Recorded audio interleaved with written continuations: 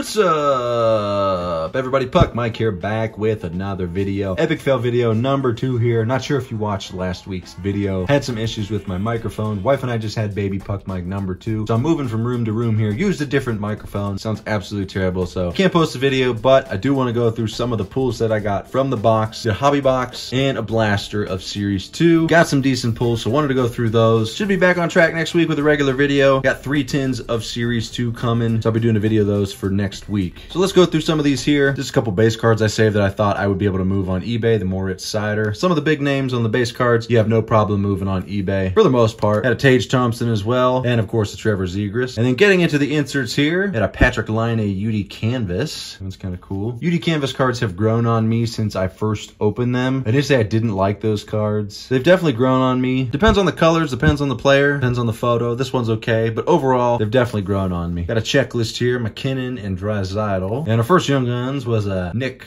Perbix. We didn't hit a ton of big names on the Young Guns, but we did hit one big name, so stick around. I'll show you that one here in this pile. Had a UD Portraits of Brandt Clarke. In the Lunchbox Legends, got a couple of these. This one was a Brady Tkachuk. This one was cool. Calder of Kaiden Guhle. Not sure if I'm saying that last name right. Had a Chase Pearson on the honor roll. Another Legends of Patrik Laine again. Another Young Guns here. Again, not a super big name. The Instant Impression inserts. I thought these were actually really cool. Not a huge Guentzel fan, to be honest. Great player. Definitely wouldn't be the same player without Crosby, in my opinion. His stuff doesn't sell for a ton, probably for that reason, but really like these inserts actually. Ethan Prow on the Young Guns there. Then these World Junior Grads cards. Almost looks just like a base card. It's got the border there at the bottom and the different one at the top. Cale Makar, good name to have. Not mint, unfortunately. Got some wear on the top edge there, but good name to have on that card. Had a UD Canvas, Yegor Sharangovich. Brandon Baddock on the Young Guns. So I think that was our third Young Guns. Then these kind of postcard looking cards they had this time around. We got San Jose. Really cool idea on these. Honestly didn't even know these were in here. I think I missed these on the checklist. I actually like these designs. They're pretty cool. Had one of our blue Dazzlers. I think this was one I got from the Blaster, if I remember correctly. I can't remember though. Actually, no, it might have been the green Dazzler we got coming up. Soderblom on the portraits. And that was the big pull of the box. Shane Wright on the Young Guns. Was hoping for Wright, Slafkovsky, some of the big names. Also not mint, unfortunately. Got some wear on the top edge. Probably hold on to it for a little bit. I haven't looked in a while. I think his stuff might have dipped since he didn't make the transition directly to the NHL. I don't think he's a bust. I think he just got overshadowed by some better players. Glad I had that pool regardless. Then we had Cole Reinhardt on the Senators as well on a Young Guns. Cam Atkinson, more UD Canvas. Then one of these postcard looking things, Minnesota. Nick Blankenburg, another Young Guns here on the Flyers. Olle Lycksell. Adam Raska, UD Portraits on the Sharks. Kochetkov on the Green Dazzlers. This was the one I think I got out of the Blaster now, if I remember correctly. One of them is exclusive to the Blasters. I think it's the green one. Then we had a Dylan Holloway for Calder there. A couple really good ones on the back here. I might like this one better than the Shane Wright Young Guns, to be honest. Conditions way better. Quality's way better. These highlighter inserts, I really like these. Debuting this year in this set, I was able to get a Jack Hughes, which is awesome. Really like that card. And then a UD canvas. Tage Thompson, great name to have on the UD canvas. There's the back right there. So yeah, I wanted to go through some of the cards I got in this break. Sorry about the mishap, guys, these last couple weeks. Really appreciate you guys sticking around with me. Appreciate the comments, the likes. If you haven't already, do me a favor, subscribe. Like I said, next week, got three tins of Series 2. Gonna be opening those. Hopefully some of the stuff that's been delayed will be released. I think 21, 22 Ice is supposed to come out. Obviously just a placeholder date, so you never know. Might be doing the boombox again for May as well. Stick around, got a lot of cool stuff coming up. Really appreciate the support, and yeah, I'll check you later.